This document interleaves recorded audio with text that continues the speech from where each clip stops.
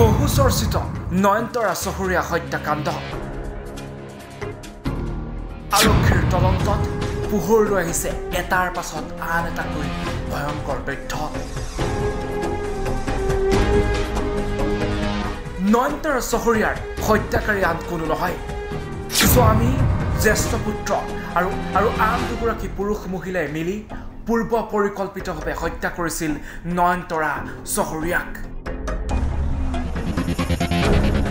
ওদালগুৰি জিলাৰ কলাইগাঁও চহৰৰ বহু চৰ্চিত নয়নতৰা চহৰীয়া হত্যাকাণ্ডৰ লগত জড়িত ঘাতকক অৱশেষত গ্ৰেপ্তাৰ কৰিছে আৰক্ষীয়ে।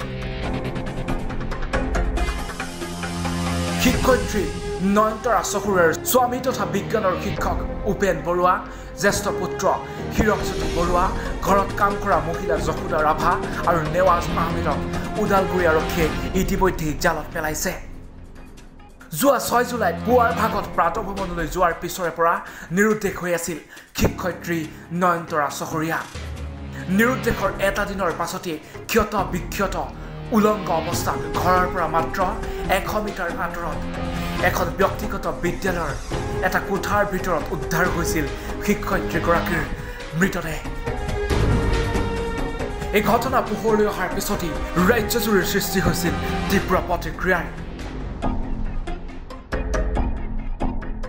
আমাৰ বৰাৰ হত্যাকাণ্ডৰ দৰে আন এটা হত্যাকাণ্ড আজি কলাইগাঁৱত সংঘটিত হ'ল। আমাৰ কলাইগাঁও স্থানীয় এগৰাকী শিক্ষয়িত্ৰীক যোৱাকালিৰ পৰা সন্ধানহীন হৈ আছিলে আৰু আজি কিছু সময় আগত স্থানীয় প্ৰশাসন তথা জিলা প্ৰশাসনে তদন্ত কৰি ইয়াত মৃতদেহটো উদ্ধাৰ কৰিছে। আমি ছাত্ৰ সন্থা তথা কোন ঠাইত কোন কোন ঠাইত উদ্ধাৰ হৈছে? এখন এখন ইউ এন একাডেমী হয়।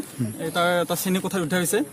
গতিকে আমি ছাত্ৰ সন্থাই তীব্ৰ ভাষাৰে গৰিহণা জনাইছোঁ এই কাণ্ডক।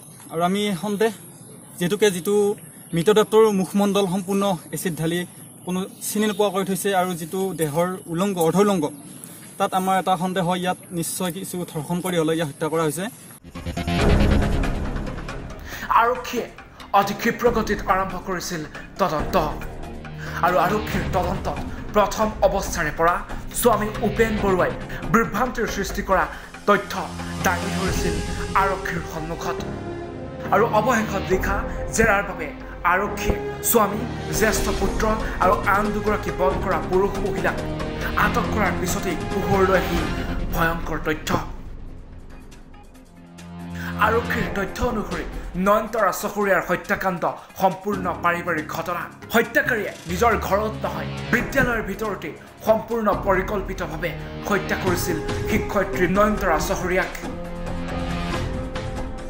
আৰু হত্যাৰ অন্তত স্বামী উপেন বৰুৱাই পত্নীৰ দেহত ঢালি দিছিল এচিড। নানা ধৰণৰ চ'ৰ্চৰ পৰা গম পাই পেলাই আমি এতিয়ালৈকে বৰ্তমান যিখিনি এভিডেঞ্চেছ পাইছোঁ এই এভিডেঞ্চেছৰ ওপৰত ভিত্তি কৰি আমি মহিলাগৰাকীৰ স্বামী শ্ৰী উপেন্দ্ৰ বৰুৱা তাৰপিছত শ্ৰী ইৰেক হীৰকজ্যোতি বৰুৱা তেওঁৰ মহিলাগৰাকীৰ ল'ৰা। তাৰপিছত এজন আছে শ্ৰীমতী যশোধা ৰাভা। যিগৰাকীয়ে তেওঁলোকক সহায়িকা হিচাপে ঘৰুৱা সহায়িকা হিচাপে কাম বন কৰি দিছিলে। আৰু এজন মহম্মদ নেৱাজী হুছেইন। এওঁলোকক আমি বহুতখিনি এভিডেঞ্চেছ পোৱাৰ পিছত তেওঁলোকক এৰেষ্ট কৰা হ'ল। কোৰ্টত হাজিৰ কৰা হ'ল আৰু কোৰ্টত এটা প্ৰেয়াৰ দিয়া হৈছিলে তেওঁলোকক ৰিমাণ্ডৰ কাৰণে। গতিকে তেওঁলোকৰ আমি সাতদিনৰ ৰিমাণ্ড পাইছোঁ। For custodial interrogation? কাৰণ আমি কেছটো আৰু বহুতখিনি আগবাঢ়িব লাগে। যাতে ইনভেষ্টিগেশ্যনটো ইয়াতে থমকি নৰয় যে আমি এনেকুৱা ধৰিলোঁ বুলিয়ে যে আমাৰ কৰ্তব্য শেষ হ'ল এইটো নহয়। ইয়াৰ ওপৰত বহুতখিনি কথা আছে যে আমি F S L report collect কৰিব লাগিব ফিংগাৰ প্ৰিণ্ট কালেক্ট কৰিব লাগিব। এইখিনিৰ ওপৰত চাইণ্টিফিক এভিডেঞ্চেছখিনি আমি মিলাব লাগিব। গোটেইখিনি যেতিয়া আমাৰ লাইনত আহি যাব তেতিয়া আমি প্ৰচিকিউশ্যনটো সফল বুলি আমি ধৰিব পাৰিম। আৰু যাতে তেওঁলোকে কোনো আইনৰ সুৰুঙা লৈ পেলাই যাতে ভৱিষ্যতে সাৰি যাব নোৱাৰে। উল্লেখযোগ্য যে কলাইগাঁৱত সংঘটিত হোৱা এই নৃশংস ঘটনাৰ পিছতেই চাঞ্চল্যৰ সৃষ্টি হৈছিল right so sorry.